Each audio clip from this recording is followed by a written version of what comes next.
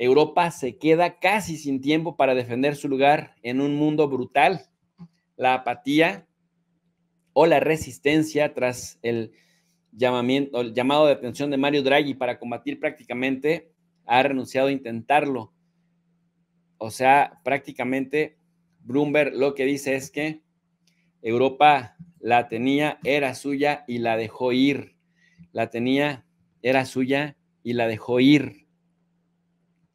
Básicamente, pues, dice RT destaca, por ejemplo, de Bloomberg, esto, la decadencia de Europa se hace imparable, es decir, nadie puede detener su decadencia. A la Unión Europea le resulta cada vez más fácil, más difícil, perdón, estar en pie de igualdad con otras grandes potencias y su modelo económico no tiene justificación en las realidades actuales. Bueno, si a esto le sumamos que desde junio el diario El País está diciendo esto que ven en pantalla, miren ustedes con lo que se conforman. Dirían por allí en mi pueblo, con qué poco sol les salen pecas. Los expertos duplican la previsión de crecimiento de la economía alemana para 2024. El Instituto InfoB nuevas esperanzas y eleva la proyección del avance del PIB hasta el 0.4% este año. Imagínense con lo que se están conformando, diciendo que no hay nada de qué preocuparse porque los expertos europeos están duplicando la previsión del crecimiento, es decir, que van a ver que el crecimiento va a ser del doble. Y cuando revisas cuál sería su perspectiva de crecimiento, te dicen 0.4% ni siquiera un mísero punto porcentual. Y entonces, pues esto nos hace volver nuevamente al texto de Bloomberg para entender a qué se refiere cuando dice que la caída de Europa se vuelve imparable, pues que nadie puede detenerla. ¿Cuáles son las razones que tiene Europa en el ojo del huracán? ¿Por qué? Si los gobiernos de Europa se sienten en el centro del mundo y además con la autoestima o con la soberbia de dictarle al resto del mundo cómo debe organizarse, cómo deben vivir, pues vamos a ver qué es lo que dicen desde Estados Unidos que le está afectando a Europa con respecto a este asunto. La agencia es Bloomberg y Bloomberg está diciéndonos lo siguiente. El proyecto europeo se está acercando a un punto de inflexión. Una combinación de parálisis política, amenazas externas, como por ejemplo la guerra en Ucrania, el crecimiento chino, por ejemplo, o el mismo Estados Unidos saboteando Europa, el malestar económico avanza con acabar y de verdad avanza fuerte y puede acabar con las ambiciones de la Unión Europea de convertirse en una fuerza global por derecho propio, empujando a los Estados miembros a defender sus propios intereses de manera individual. Después de décadas de advertencias y de un crecimiento deficiente, los líderes de la región de repente se enfrentan a un aluvión, evidencia, dice, de que el declive europeo se está volviendo imparable. Europa va en caída libre. El presidente eurófilo de Francia, es decir, Macron, que es muy europeísta, según, ha cedido el poder de veto sobre su gobierno a la extrema derecha. El mayor fabricante de automóviles de Alemania está hablando de cerrar fábricas en su país por primera vez en su historia. Los gigantes tecnológicos de Estados Unidos están dando la espalda al mercado europeo. Ups, debido a sus nuevas restricciones a la inteligencia artificial. Ups, pero ¿cómo? ¿Que no eran grandes aliados? ¿Y que no Europa se estaba salvando gracias a Estados Unidos? ¿O eso es lo que nos vinieron diciendo por ahí? Todos estos acontecimientos, dice Bloomberg, apuntalan al fracaso de la Unión Europea a la hora de actuar como un bloque económico cohesionado y dinámico, erosionando su estatus y degradando su capacidad para responder a una amplia gama de amenazas desde la primera eh, política industrial china hasta la agresión rusa militar o incluso una futura administración antagónica de Estados Unidos, que miren que realmente Estados Unidos tiene un manejo de sus finanzas públicas terrible. O sea, el pago de la deuda en este momento para Estados Unidos, el costo del pago de los intereses, en este momento supera por mucho cualquier otro gasto, incluso supera ya al gasto militar. Está tan, pero tan, pero tan, tan, tan, tan, tan, parece mariachi, ¿verdad? Tan, tan, tan, tan, tan endeudado Estados Unidos, tan endeudado que pagar nada más los intereses de su gigantesca deuda de 34 billones o trillones, de hecho, en este momento, por administrar su deuda, gasta 900 mil millones de dólares anualmente. ¿Quién se enriquece? ¿A dónde va a parar ese dinero por el costo de la deuda de Estados Unidos? Bueno, pues Estados Unidos, casi en bancarrota, es el valedor de Europa. Dice Bloomberg, la reciente apatía o resistencia de los gobiernos tras el llamado de atención del ex primer ministro italiano Mario Draghi en favor de una mayor inversión y vínculos comunes para combatir el débil crecimiento de la productividad pone de relieve cómo Europa prácticamente ha renunciado a intentarlo. Cita textual de lo que dice Guntram Wolf. Si se quiere ser una potencia geopolítica en estos tiempos, el poder económico es el ingrediente clave. Este señor es profesor de la Universidad Libre de Bruselas e investigador principal del Centro de Estudios Bruegel. Dice también que el crecimiento de la productividad ha sido un desastre Europa sigue siendo rica, pero estas diferencias a lo largo de 20 años siguen teniendo consecuencias enormes, generando cada vez más pobres. El problema fundamental es que el mundo ha experimentado cambios dramáticos, colapso eh, climático, cambio demográfico y transición hacia una economía postindustrial. Todos ellos fenómenos ante los cuales la capacidad y la voluntad de Europa para responder están rezagadas.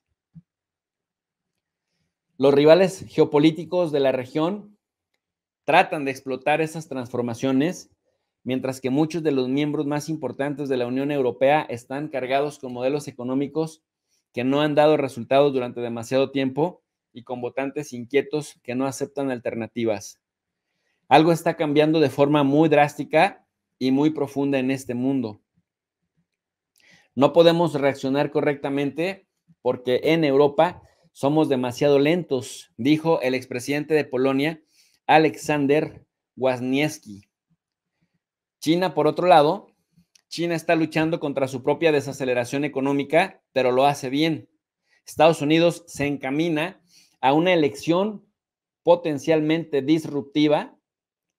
Trump o Harris, con sus finanzas públicas en una situación insostenible, pero tanto China como Estados Unidos tienen sistemas que centralizan en gran medida la toma de decisiones y generan enormes cantidades de capital privado o público para defensa e inversión en tecnología de vanguardia. Europa no tiene ninguna de esas dos cosas y eso se hace cada vez más evidente. Es cierto que los niveles de vida de sus economías ricas no están al borde del colapso.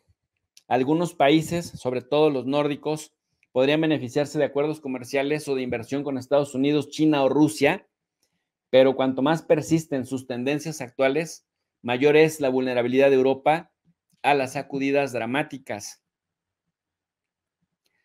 Recientemente veíamos a Macron, muy recientemente veíamos a Macron diciéndoles, no nos hagamos tontos, no nos hagamos tontos.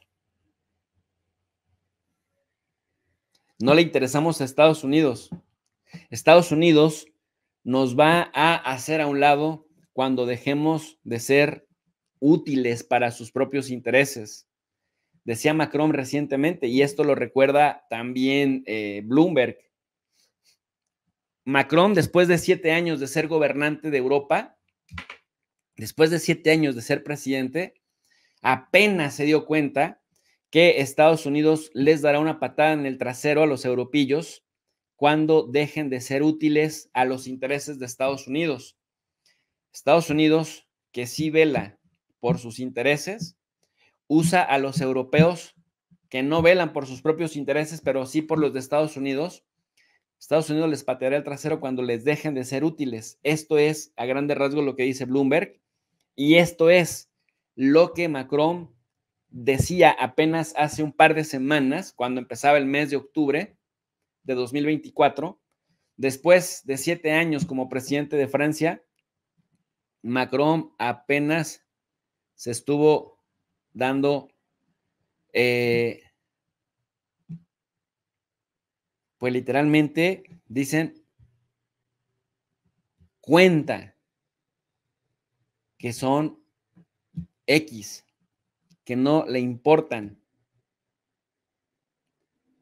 Entonces, en ese contexto, en ese orden de ideas, en Europa, que han dejado pasar mucho tiempo, han dejado pasar mucho tiempo, la hipótesis principal de Bloomberg es que Europa se queda sin tiempo para defender su propio lugar en un mundo de bastante competencia, en un mundo brutal, en un mundo en el cual definitivamente dicen o estás pilas o estás perdido. O ves por tus intereses o nadie va a ver por los tuyos. Básicamente a eso, a esto se refiere este eh, título de Bloomberg. ¿Y por qué Bloomberg o por qué es importante lo que diga Bloomberg hoy en día? Porque simple y sencillamente Bloomberg es propiedad del poder fáctico, económico y financiero en Estados Unidos y es una gran bocina, tiene una gran, eh, pues un gran eco en diferentes medios occidentales. Dice Macron, después de siete años de ser presidente de Francia, después de siete años de lidiar con Trump y con Biden, con Angela Merkel y con el inútil de Scholz, con Pedro Sánchez y con Mariano Rajoy, Realmente creo que estamos en riesgo. En los próximos dos o tres años, si seguimos con nuestra agenda clásica, estaremos fuera del mercado. No tengo dudas, decía Macron. Y Bloomberg complementa. Esos riesgos que advertía el presidente Galo ya están empezando a cristalizarse para la Unión Europea. A medida que aumenta la dependencia del bloque de la economía china, y que se quieren poner a pelear contra China en el tema de los vehículos eléctricos, Europa muestra sus inconsistencias. O sea, de verdad los europeos son increíbles. De verdad los europeos son impresionantes de forma negativa, no necesariamente de forma positiva. ¿Por qué? Porque se ponen a pelear. ¿Han escuchado esta, han escuchado esta, esta frase de el perro muerde la mano del que le da de comer, pues algo así le pasa a los gobernantes de Europa. Se ponen a pelear con quienes les ayudan a tener estabilidad y se ponen a obedecerle a quien los maltrata. Ahora se van a dar cuenta a qué me refiero. Se pelearon con China, se pelearon con Rusia. Rusia les garantizaba estabilidad energética, China les garantiza estabilidad financiera y que creen, se están poniendo a pelear con China. Macron sostiene que la pérdida de los combustibles, dice Bloomberg, combustibles baratos, los fósiles, obviamente, que procedían de Rusia desde la invasión de Ucrania del 2022, es decir, que esa pérdida desde 2022 y la llegada de la agresiva política industrial intensiva en subsidios del presidente estadounidense Joe Biden marcan una ruptura con el viejo modelo que permitió que las economías basadas en la exportación de Europa florecieran. Esto se suma a los desafíos preexistentes planteados por el ascenso de China y su propia y enorme maquinaria manufacturera, y el salto global de innovación tecnológica que en gran medida ha pasado por toda la región. Y Bloomberg publica, déjenme se los comparto, Bloomberg publica esta grafiquita que usted puede observar aquí y nos dice, esta es la trayectoria de las importaciones de China. Dice, por un lado, importaciones actuales de China. Y lo vemos acá abajo, es decir, esto es lo que China importa en color negro. Y luego el mercado compartido con la constante asumida, lo que significa que China está en un superávit permanente con respecto a su relación con Europa y también con Estados Unidos. ¿Qué significa esto? Que China le vende más a Europa y más a Estados Unidos. Y si metamos a México, pues también a México en esa boleta, China te vende más de lo que le puedes vender a China. En ese contexto, significa que estás tú dependiendo más de importar que de producir. De tal suerte que cuando desde allá te quiten prácticamente pues te vas en picada. Algo así es lo que le está pasando a Europa. Depende de demasiados, de demasiados factores externos. Depende de la estabilidad que le provee China, pero se pone a pelear con China. Depende de la estabilidad que le brindaba Rusia, pero ya están viendo la cantidad de sanciones contra Rusia por órdenes de Estados Unidos. Y cuando parece que Estados Unidos puede ser tu salvador, nuestros vecinos del norte te hacen así en el hombro y luego una patadita. Europa está en peligro, dice David Goldbright, un empresario de la tecnología e inversionista que ha pasado su carrera trabajando tanto en Europa como en América del Norte. Percibe que la economía mundial está en medio de una transformación similar a una especie de revolución industrial. Y dice, miren lo que les pasó a los países que no lograron industrializarse. Pues, ¿qué les pasó? Pues que sigue siendo dependiente de los demás y al ser dependiente de los demás, pues también dependes no solamente del estado de ánimo de los demás, dependes también de tener buenas relaciones y de corresponderles. Aquí vemos la carita de los europillos en recientes encuentros internacionales. Dice Bloomberg, el resultado amenaza con causar literalmente daños que van más allá del simple retraso en la inversión y la productividad. Los líderes de la región están perdiendo la fe en el proyecto europeo. Repito, Bloomberg está destacando que los líderes de la región están perdiendo fe en el proyecto europeo. No se trata solo de euroescépticos como Víctor Orbán, una espina perenne en el costado del bloque. Los funcionarios de los países europeos centrales están empezando a ver a la Unión Europea como un obstáculo que debe sortear en lugar de la fuente de prosperidad y protección que ha representado hasta ahora para ellos. Los funcionarios franceses hablan de forjar una integración más profunda con un grupo más pequeño de países fuera del marco del bloque, debido a la oposición de larga data de Alemania. Y ojo con lo siguiente. Y ojo con lo siguiente. Porque como Unión Europea decidieron ponerse a pelear la guerra de Estados Unidos en contra de China, la guerra comercial, por supuesto. Pero después en lo individual, como países individuales, tuvieron que empezar a ir a decirle China, China, por favor, no me vayas a poner sanciones a mis autos que no sean muy grandes, que no sean muy pesados los impuestos que nos pongas. Es decir, si estoy con mi pandilla de europillos, te vamos a poner altos aranceles a tus importaciones. Pero luego yo iré a China, te suplicaré en lo individual como país, no que habla a nombre de toda Europa, sino que habla a nombre de un país individual, a rogarte que por favor a mis productos como el puerquito no me le vayas a poner impuestos muy altos. O sea, una hipocresía y una miopía